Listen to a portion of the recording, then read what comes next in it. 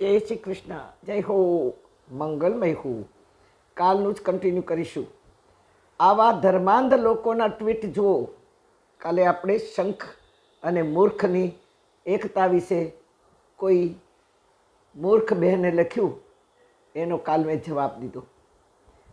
હા ટ્વીટ વાંચો ક્યારેય પણ કોઈ આવા ધર્માંધ લોકોની. તો જરૂર એને રોકો અને ટોકો અને જવાબ દો. તમને સમજ ન પડે તો એ ટ્વીટ મને જરૂર મોકલો. હું ગીતાના શ્લોકો દ્વારા જવાબ આપીશ. આવા કાદવ સાફ કરવા આપણે તૈયાર રહેવું પડશે. નહીં તો આપણા ધર્મ ઉપર, આપણી સંસ્કૃતિ ઉપર, આપણા જ ઘરમાં રહેલા આવા આતતાઈઓ જ કહેવાય કે વિના સમજે, વિના જાણીએ કુઠારાઘાત કરી રહ્યા છે. હા આ સફાઈ અભિયાન માત્ર ધરતી પરનો કચરો સાફ કરવા પૂરતું નથી, પણ માનવોના હૃદયમાં પણ એટલો જ કાદવ ભર્યો છે. અને તેથી જ ભગવાને હૃદયની વાત કરી છે. ક્ષુદ્રમ હૃદય દૌર્બલ્યમ ત્યક્તો તિષ્ઠ પરંતપ.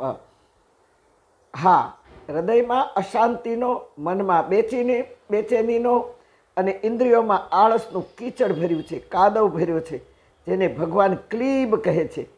લોકોમાંથી વિચારોની ગંદકી કાઢવા ગીતાજીના શ્લોકનો જ આધાર લેવાનો હોય.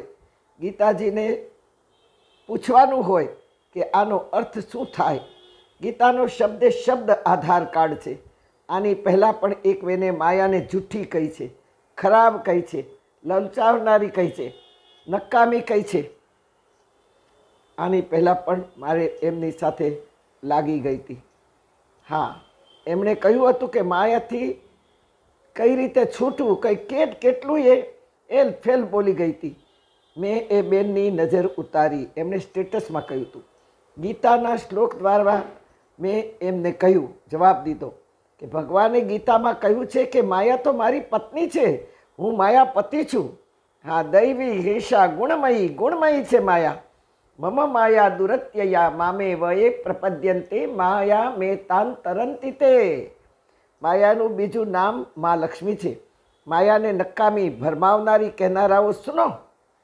તમને તમારા પરિવાર, તમારા સગાઓ પર માયા નથી, તમારા મિત્રોની માયા નથી, પત્નીને પતિની ને પતિને, પત્નીની માયા નથી લાગી, તમને બાળકોની, પૌત્રા, પૌત્રીની માયા નથી લાગી. ભાઈઓ, તમને બિઝનેસની માયા નથી લાગી? શું કામ સવારમાં વહેલા ઉઠીને ઉઘરણીએ જાઓ છો? તમારા ક્લાયન્ટોની પૌત્રા પૌત્રીની તમારા ઘર, બાર રાચ રચીલાની માયા નથી લાગી? નાનું બાળક માની શાલનો ડૂચો લઈને ફરતું હોય. અરે ભાઈ, માયા તો જન્મો જન્મ સાથે જ છે.